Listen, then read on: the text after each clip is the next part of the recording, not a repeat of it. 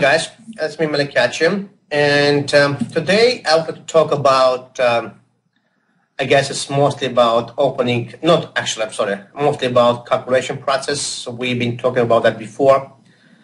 I will try to give you some, again, important tips uh, how to have your calculation in the right way.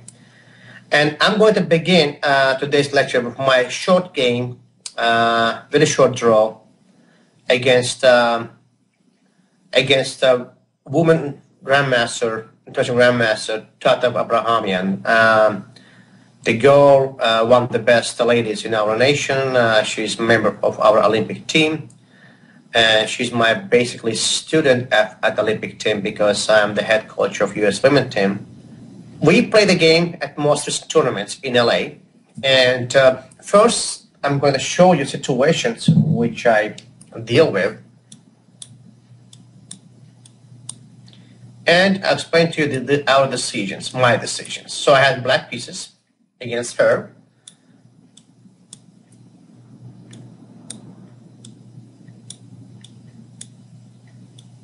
All right, so we have here line castle.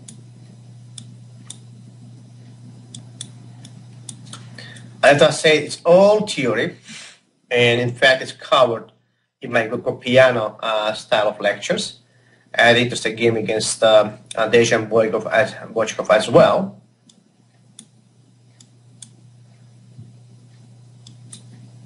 Yeah, one of my favorite moves, which I had a game against Tatev herself again, and this game also published in Chess.com, it's not h5.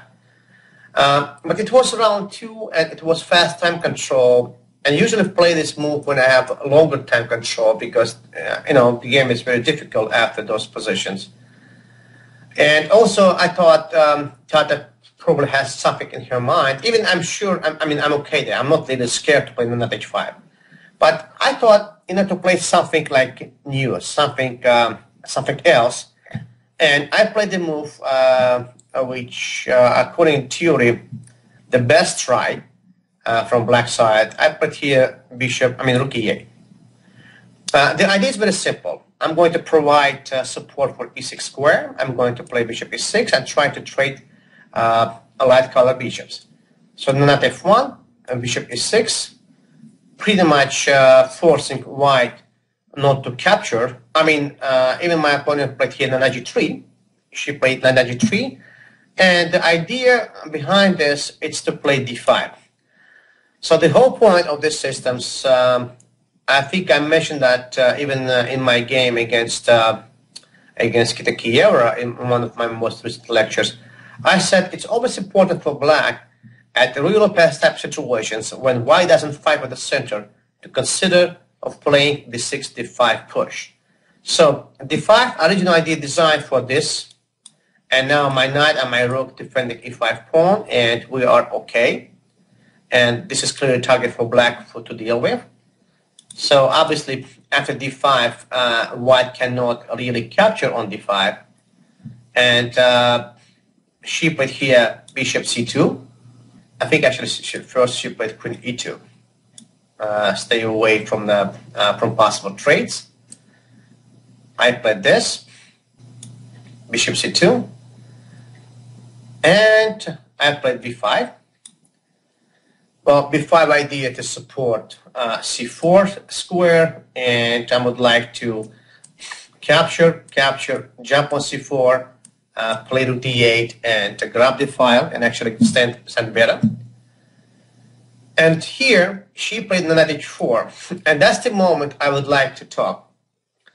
I mean, all those things are important for you to understand. I'm not saying to you, I'll be in big trouble if I will play here anything else besides what I did. But I didn't feel comfortable to play situation because I do play the same positions as a white a lot. And I didn't feel comfortable to deal with uh, possible pressure after queen f3 move, after queen f3 uh, hits the f6, my uh, bishops hits the h6, these knights having access to jump on h5, and I call this decision making, um, like process in your calculation, as a principle of elimination, or sometimes I call it desperation mode. So I said, you know what? to stop all these white plans, I need to make this move. Bishop takes h3. But before I'll take on h3, I saw white can actually play this and deflect my knight because now my knight has to go away from original destination of jumping on h3 to support black queen and attack. So first I, added this DE, DE, and then I took on h3. Again, why I'm doing this? Because, as I said, I'm not happy in general to play situations like this when white clearly has a view to attack my king. Even I understand I'm not losing here, but this is inconvenient, inconvenient situation for black to deal with because they don't have clear targets to play for, and white does. White does have our targets here, here, here. So speaking practically, especially when you play this fast time control, uh, white has way higher chances to beat black than black white. And I guess my decision, I'm going to call it as practically uh, desperate mode, practically nice way to play. So I took it, took it. Now, if white will make any other mistake, any other move, they'll be in big trouble. We have a big time pin. And white has to play here this. But unfortunately, I don't have much more than just make a perpetual check by playing queen h2 and queen h3. Um, I can make this fancy move 994, but it's not going to help me because it's still same perpetual. And unfortunately, I can't play g6 because after this, I'm simply losing. So I had to make a decision and make perpetual draw. So you can say why uh, Coach Melik showing this game uh, because I just want to show you decision making because sometimes we have to make decisions because we have no choice. Because speaking practically, rest is bad. Since rest is bad, it means that's the best. So I hope you understand this, and I'm going to continue uh, this lecture by providing you maybe a few examples from uh, endgame studies, which I believe uh, the best way for you would be to understand the process how we make decisions. All right, so this is what I'm talking about. Again, same elimination process. Let's try to understand this position, how we do what we do.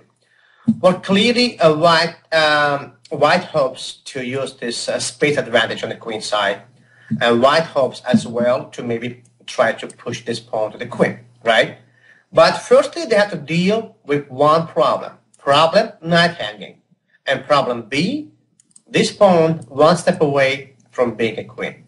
So clearly you're saying, all right then, I guess my picture is something like try to trade my knight with black pawn and then maybe push if a pawn, I mean e pawn, and his bishop, I mean black will give away their own bishop for the pawn, and then my king will run away to the uh, pawn, and I'm going to win the game. So let's see how many squares this guy has. One, two, three, four. Well, this is immediately you're going to eliminate because you must understand, don't ever put your knight versus your subject on diagonal position because you will never reach this subject on h2 less than in three moves. So you have to spend three moves to spend to attack this pawn. So it means no way. Trash. This.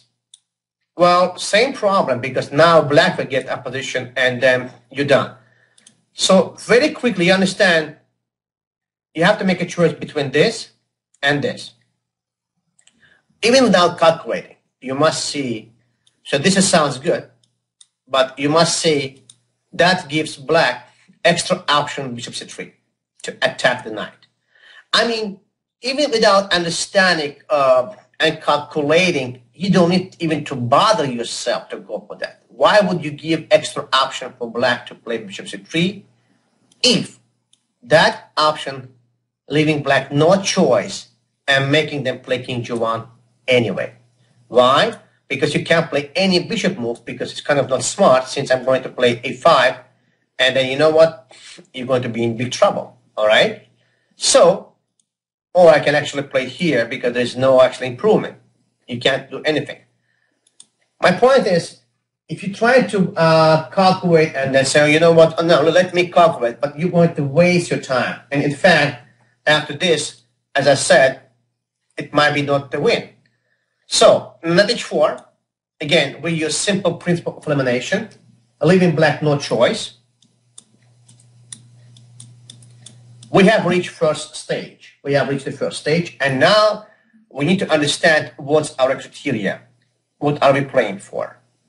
In uh, end games, it's always important to consider space, spacing problems. So clearly, that's our chance because this is last dark squares before a6 pawn reach a8 square, and especially this pawn blockades this diagonal. So it means uh, bishop will struggle to defend a pawn. So you are looking for clearly to go away and try to pick up the pawn. But you must understand, all right, this is what it is. Black has this move. And suddenly they fine. They okay. Since you saw this, your next step saying, oh my gosh, so I guess I need to do this, right? Looks like I'm fine. And looks like the bishop has no way to stop my pawn. And uh, if bishop, bishop will take the pawn, then I can either take or maybe not. But if you take the same problem because king still runs right step behind of you and king still reaching c7 square, even black down so much space, they're still able to hold draw. So I guess the whole thing you understand the concepts again by using simple principle of elimination. The whole concepts here is to make sure this guy doesn't have this diagonal to run. And what you do, you play e5, make him capture, and then you avoid this capture, and then you run, and then you run, and then you run, and suddenly Black King doesn't have this access, and they stepping away from region diagonal. No matter how they play, they're lost. They lost because now this guy passed the queen. Again, is it required for me to calculate that deeply? Not really. Not really.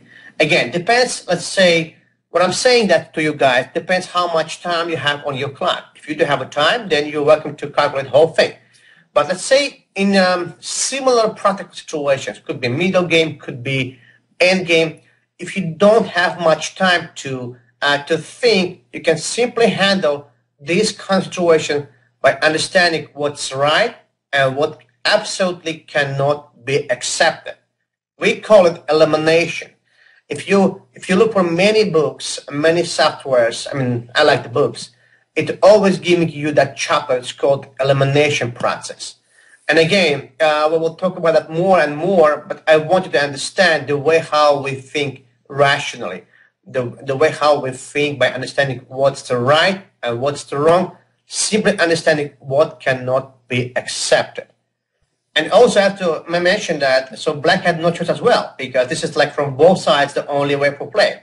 Let's say if black tried to play uh, something like this, for instance, and not to capture the pawn, and just try to stop this uh, pawn by playing, um, let's say, bishop c3 or bishop b2, doesn't matter, then we have this. And now the problem is when black almost reached uh, the fence, looks like they almost here, in case if we take the here and they reach the goal, suddenly white has this trick. They have this trick and now game is over. Because now the pawn has deflected the black king from being on c7. I must take the pawn, otherwise the pawn is going to get queen. And then the king is far away to reach c7 square. And now we are simply winning again. So this is how it works. I hope you understand this, and I hope one day you're going to use the same weapon against your opponent. Yeah, this is another example for you guys. So clearly here, uh, black white has some issues with um, defending h8 knight. As you see, this knight is going to be die very soon let's say, what's our choice? Uh, if we're going to play bishop d5, kind of supporting my knight, then we deal with uh, knight f4, uh, and knight f4 will defend his pawn and then attack his bishop as well. All right, so I guess if we play here king h3, then after king g7, um, we can play probably this, this, and this. And looks like we're okay because looks like um, black has some problem developing here of pieces. But unfortunately, it doesn't work because black has very simple response. They have this response followed by this, and it kills the whole thing. Because we're going to play this, knight defended, bishop has no access to support white knight, and black bishop will simply pick up this knight.